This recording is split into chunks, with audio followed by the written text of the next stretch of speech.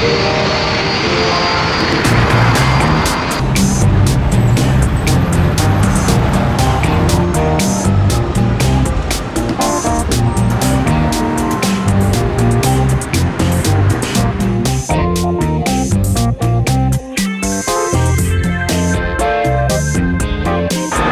are on Bradley International Terminal across from the, the west uh, station People Mover.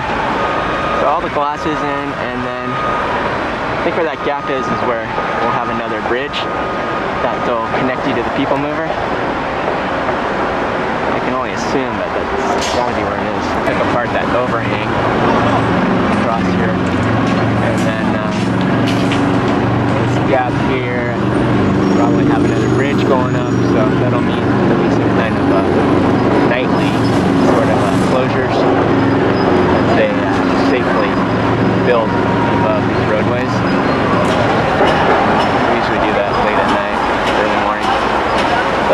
15 on the crosswalk the station. Glass looks a little dirty from the inside, naturally, there is still ongoing uh, internal construction.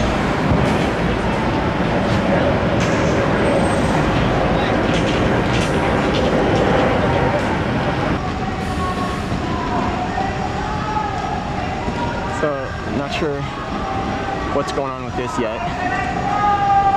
Not quite there.